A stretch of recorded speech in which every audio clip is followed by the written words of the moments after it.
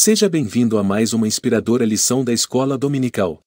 Agradecemos sua presença e incentivamos você a interagir conosco, curtindo e compartilhando seus comentários sobre o tema central da nossa aula de hoje. O tema de nossa lição 8 é o seguinte: Transgênero. Que transrealidade é essa?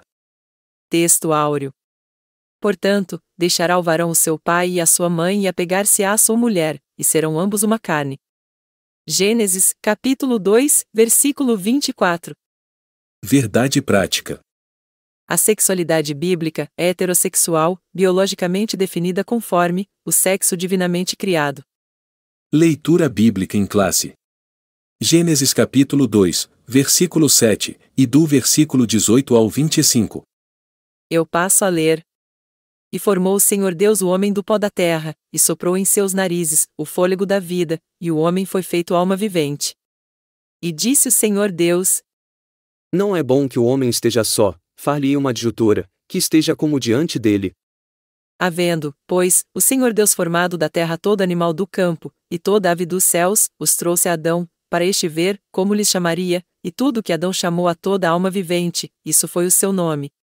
E Adão pôs os nomes a todo gado, e às aves dos céus, e a todo animal do campo, mas para o homem, não se achava adjutora, que estivesse como diante dele.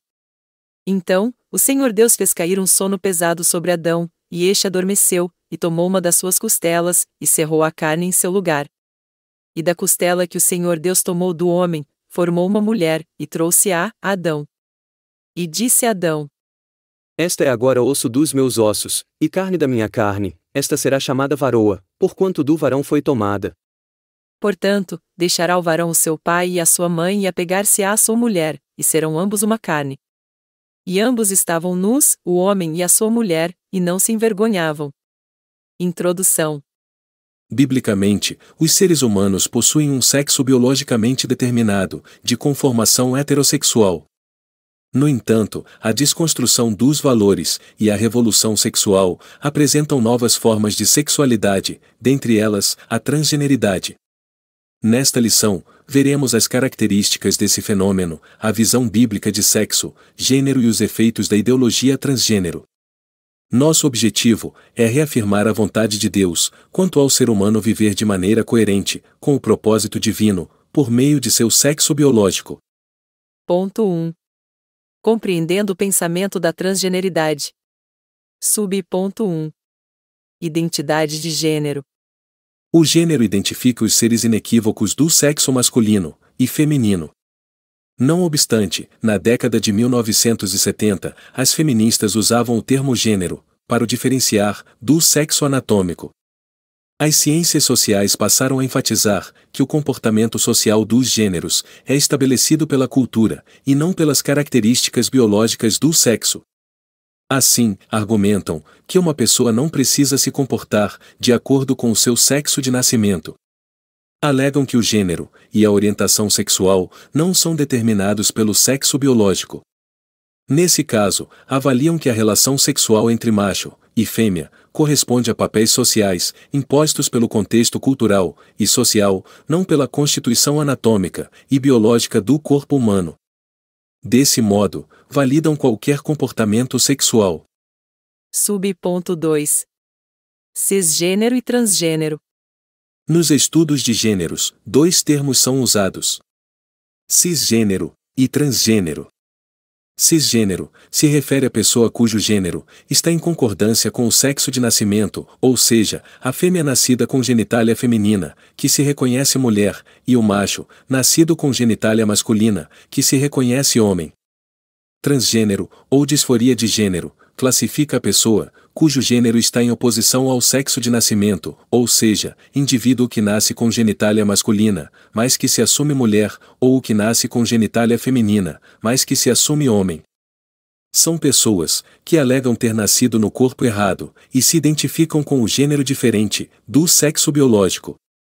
O movimento social de representatividade desse grupo é chamado de L, G, B, T, Q, I, A, P, N. Essa cosmovisão ratifica a ideia de que a identidade de gênero independe do sexo biológico. Sub.3 Transgênero e sexualidade.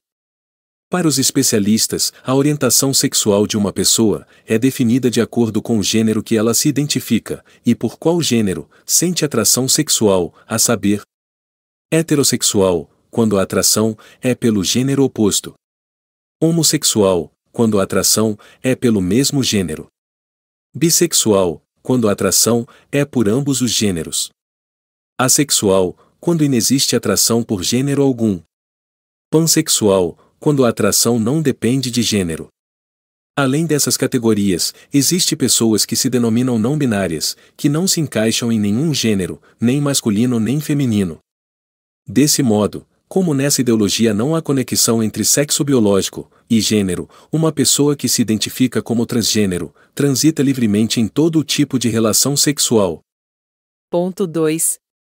Reafirmando a visão bíblica de gênero. Sub. Ponto 1 a constituição biológica.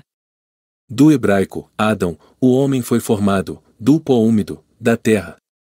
Nosso Senhor ratificou que desde o princípio da criação, Deus os fez macho e fêmea. Nossa declaração de fé professa que o ser humano é constituído de três substâncias: uma física, corpo, e duas imateriais, espírito e alma. Desse modo, o corpo físico é o invólucro das partes imateriais. O gênero desse corpo é definido pelo sexo de criação geneticamente determinado, ou seja, homem ou mulher. Nesse caso, o sexo e o gênero estão relacionados com as características orgânicas do corpo e dos órgãos genitais. Significa que na criação divina, os cromossomos sexuais, X e Y, determinam o sexo masculino, isto é, macho, e os X, X, determinam o sexo feminino, isto é, fêmea. Sub.2 A Constituição Moral. O homem foi criado, dentre outros aspectos, à imagem e semelhança moral de Deus. Entretanto, o pecado corrompeu a moralidade do gênero humano. Por isso, no plano divino, os crentes precisam ser renovados segundo a semelhança moral original. Essa renovação é obra do Espírito Santo, que opera interiormente e promove a santificação do espírito, da alma e do corpo. Assim, aos salvos a Escritura diz: Não reine, portanto, o pecado em vosso corpo mortal. Desse modo, as práticas sexuais ilícitas são proibidas. A Bíblia ensina que a imoralidade sexual afronta o corpo, que é templo e morada do Espírito Santo. Subponto 3. A constituição da sexualidade. Ao criar o ser humano, macho e fêmea, Deus também instituiu a sexualidade. Sempre, fez parte da criação original de Deus, o homem unir-se sexualmente em uma só carne, com sua mulher. Ao abordar o tema, o Senhor Jesus associou a anatomia dos sexos com o propósito divino, da sexualidade e da reprodução. O relacionamento sexual conforme idealizado pelo Criador, prevê uma satisfação completa entre homem e mulher, na busca da realização conjugal e na procriação da espécie. A união monogâmica e heterossexual configura o modelo bíblico de sexualidade.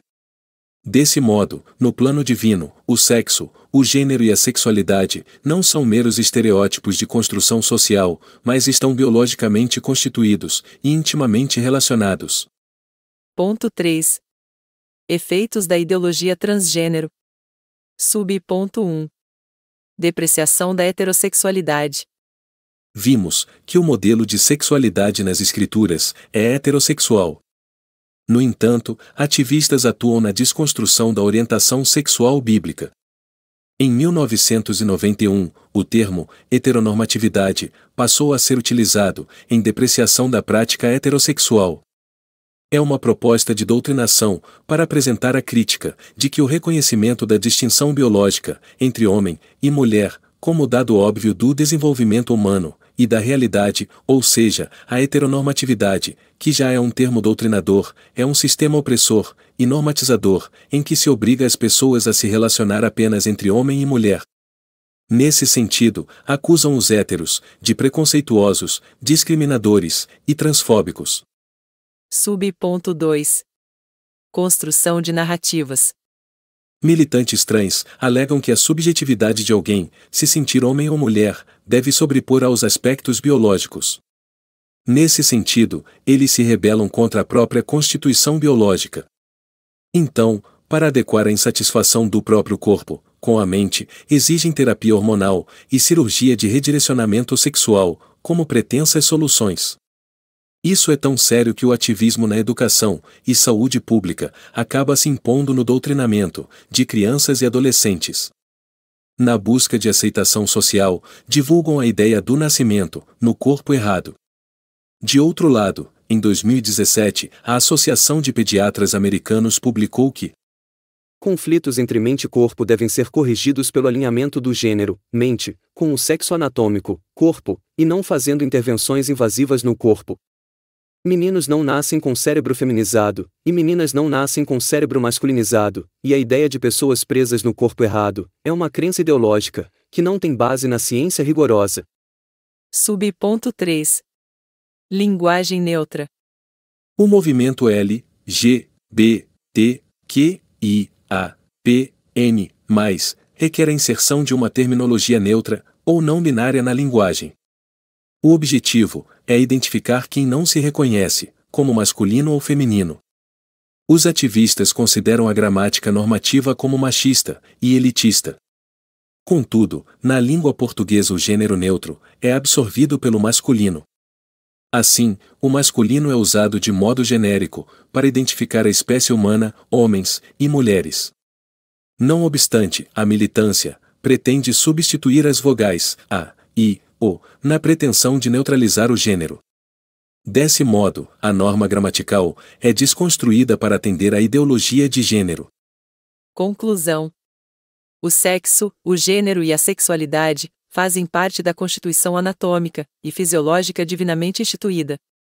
Nas Escrituras existem apenas duas possibilidades de gênero e anatomia sexual humana, ou seja, o masculino, macho, e o feminino, fêmea. Ao término da criação, viu Deus tudo quanto tinha feito, e eis que era muito bom. Ele não errou, ao criar a sexualidade heterossexual, para a humanidade. Portanto, ninguém nasce predeterminado a identificar-se como transgênero. Muda-se a cultura, mas a palavra de Deus permanece imutável.